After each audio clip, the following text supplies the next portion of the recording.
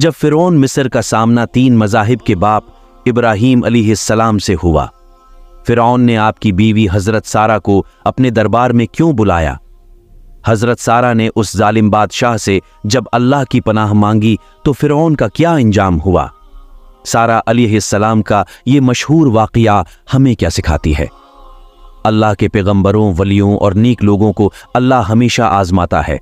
और मुश्किलात और परेशानियों से दोचार करके उन्हें आला मकाम अता करता है। उन आजमाइश और इम्तिहान से न सिर्फ़ अल्लाह के पैगंबर, बल्कि उनके अहल खाना, अहलिया और औलादें भी गुजरती हैं, जो नबूत के मुकदस मिशन का हिस्सा होते हैं। ऐसी ही एक आजमाइश और इम्तहान भरा एक मशहूर वाकया इब्राहिम सलाम की बीवी हज़रत सारा सलाम का है। दरअसल बाबल में जब नमरूद ने इब्राहिम सलाम को आग में डाला तो आप सही सलामत आग से महफूज हो गए। और नबूत की ये कोहली दलील देखकर हज़रत इब्राहिम की कूम के कुछ लोग आप पर ईमान ले आए। अल्लाह ने आपको हिजरत का हुक्म दिया, लिहाजा इब्राहिम सलाम बाबुल से हिजरत करके हैरान पहुँचे। हज़रत इब्राहिम को अब मिस्र की जानब हिजरत का हुक्म दिया गया। चुनांचा हिजरत के दौरान सफ़र में एक मशहूर शहर जिसका नाम खजाइन अलवजा था। वहाँ आपने कयाम किया। एक सुबह आपने वहाँ देखा कि सब लोग महल की तरफ़ जा रहे हैं। इब्राहिम सलाम ने कहा कि ये सब लोग कहाँ जा रहे हैं? तो लोगों ने बताया कि यहाँ की मशहूर शहजादी निहायत ही खूबसूरत है। सात मुल्कों के शहजादे उसके लिए रिश्ता लेकर आ रहे हैं।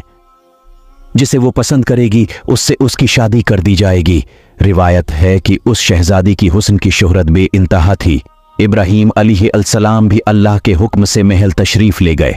जब शहजादी निकाब उड़े अपने बाप के साथ जलवा अफरूज हुई तो उसकी नज़र इस भीड़ में हज़रत इब्राहिम सलाम की चमकती हुई पेशानी पर पड़ी। शहजादी ने फैसला सुनाया कि मैं उसी शख्स से शादी करूँगी। वो शहजादी हज़रत सारा सलाम थी।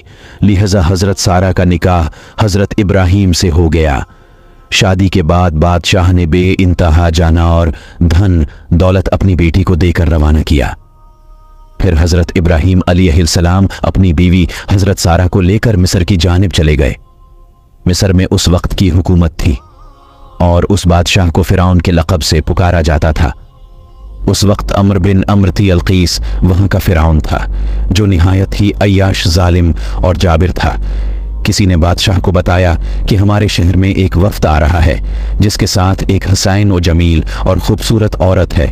चुनानचा फिराउन ने पहले ही एक फौजी दस्ते को हुक्म दे दिया, जैसे ही ये लोग मिस्र के सरहद पर पहुँचे, उनको मेरे पास लेकर आओ। बस जैसे ही इब्राहिम सलाम आपकी बीवी अहल खाना जो सैंतीस या चालीस लोग थे, मिस्र में दाखिल हुए तो फिराउन के फौजियों ने उनको गिरफ़्तार कर लिया और महल ले आए। उन्हें महल के सबसे खूबसूरत कमरे में ठहराया गया। बादशाह पहले ही सारा सलाम के हुस्न के बारे में अपने कारिंदों से आगाह हो चुका था। लिहाजा उसकी नीयत पहले ही खराब थी। अब उसका इरादा और ज़्यादा बुरा हो गया। बादशाह ने हुक्म दिया कि उस औरत को शाही लिबास पहनाकर मेरे सामने लाया जाए। इब्राहिम सलाम को यह बात मालूम थी कि उनकी बीवी सारा हुसीन व जमील औरत है। इब्राहिम सलाम ने हज़रत सारा से कहा कि तुम्हारा खूबसूरत होना मुझे मालूम है। मिस्र का बादशाह तुझे देखकर ये कहेगा कि ये उसकी बीवी है।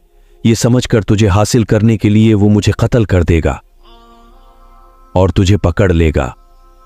इसलिए तुम उसे कहना कि तुम मेरी बहन हो, तब वो मुझे तुम्हारा भाई समझकर मुझे कत्ल नहीं करेगा और मेरे साथ हमदर्दी करेगा। और इस तरह तू मेरी जान बचाने का ज़रिया बनेगी। हज़रत सारा सलाम न सिर्फ़ हसीन व जमील खातून थी, बल्कि आप शर्म वहिया की पीकर थीं और दिल में ईमान कोट कोट कर भरा था।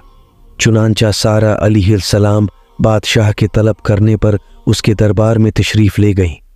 बादशाह ने जब उन्हें देखा तो खुद पर काबू न रख सका और बुरे इरादे से उन्हें पकड़ने के लिए आगे बढ़ा। हज़रत सारा ने उस वक्त अल्लाह को पुकारा। लिहाजा, जैसे ही फिराउन आगे बढ़ा उसके कदम ज़मीन में धंस गए। बादशाह बदहवास हो गया और जल्दी से बोला, तुम मेरे लिए अल्लाह से दुआ करो। मैं तुम्हें कोई तकलीफ़ नहीं पहुंचाऊँगा। चुनाचा सारा अली अलसलाम ने दुआ फरमाई कि, ए अल्लाह, अगर ये मर गया तो कहा जाएगा कि मैंने इसे कत्ल किया है? ए अल्लाह तो इसे आज़ाद कर दे। इस दुआ के बाद अल्लाह ने उसे आज़ाद कर दिया, लेकिन जैसे ही ज़मीन ने उस बादशाह को छोड़ा तो वो दोबारा सारा अली सलाम की तरफ़ बढ़ने लगा। लिहाजा हज़रत सारा ने फिर से दुआ की कि अल्लाह, मुझे इस काफिर के नापाक इरादे से महफूज रख। चुनाचा वो फिर से काम पा और उसके पाँव ज़मीन में धंस गए बादशाह फिर से माफ़ी मांगने लगा। तो हज़रत सारा ने फिर से वही दुआ की और बादशाह इस दफ़ा भी अजाब से बच निकला। लिहाजा बादशाह समझ गया कि ये कोई आम खातून नहीं है। उसने तोबा कर ली और हज़रत सारा को इज़्ज़त व एहतराम से रुखसत कर दिया।